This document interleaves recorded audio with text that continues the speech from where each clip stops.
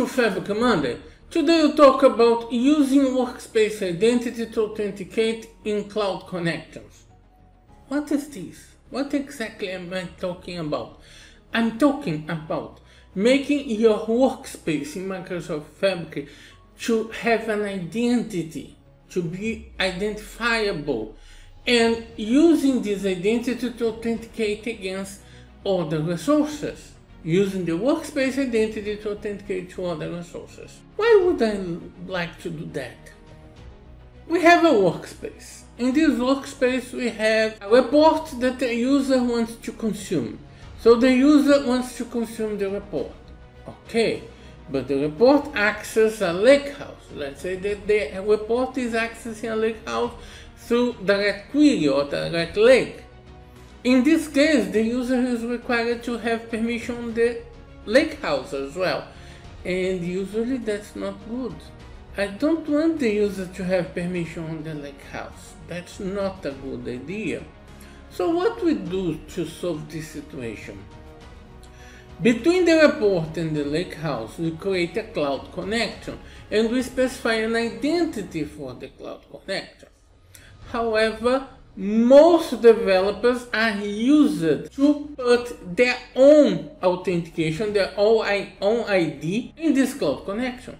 This is a terrible practice and horrible for security. The solution is that we can give the workspace an identity. The workspace can become an entity, can be a, a user itself. And we will authenticate in face of the lakehouse using the workspace identity. In this way, the end user will have access only to the report. He will be able to access the report without having any permission on the lakehouse. Let's see how we can do this. Here I have my workspace. In my workspace I have a report and semantic model. They are always together.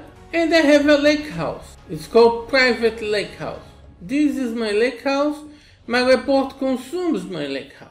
I can open the report and see how the report is. Here is my report. I can see the report, no problem with that. But it's because I'm the admin of the workspace.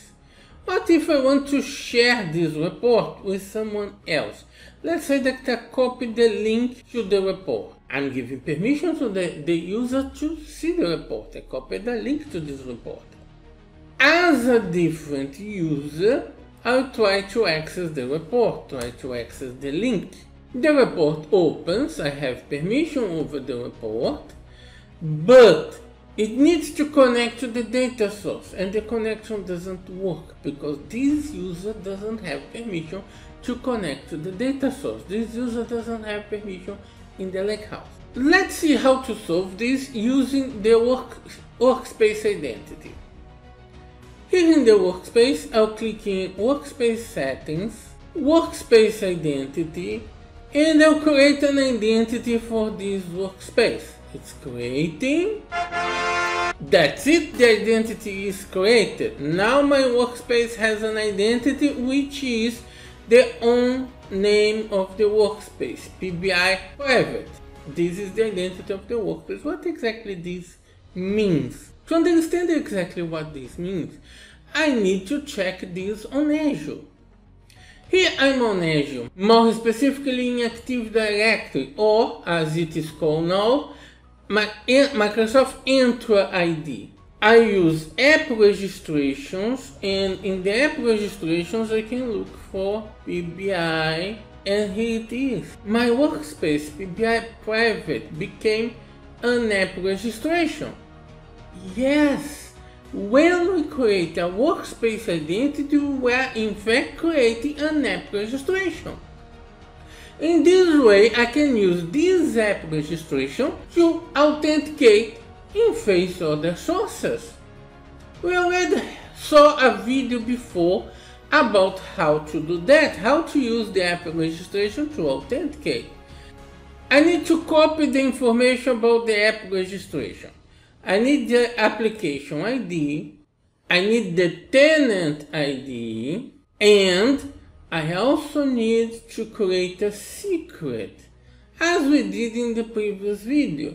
So I'll come to secrets and create a new secret. My new secret. Add. I need to immediately copy the value of the secret. Now, using these three values, I can configure my connection in Power BI. Let's go to Power BI. I'm on the Power BI workspace again. So I'll get the semantic model, clicking settings, gateway and cloud connections, and I'll create a cloud connection for my semantic model. The source is already configured, is the lakehouse, is automatically configured. So I'll give a name for this connection, Monday connection. I'll specify the authentication. I use a service principal because I create an app registration.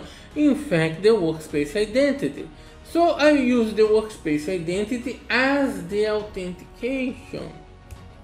I will define the application ID is the service principal ID, the tenant ID, and the service principal key.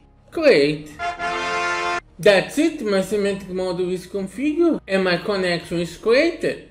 I need to ensure that this identity has permission to access the lakehouse. I can come to the SQL endpoint and click on manage permissions.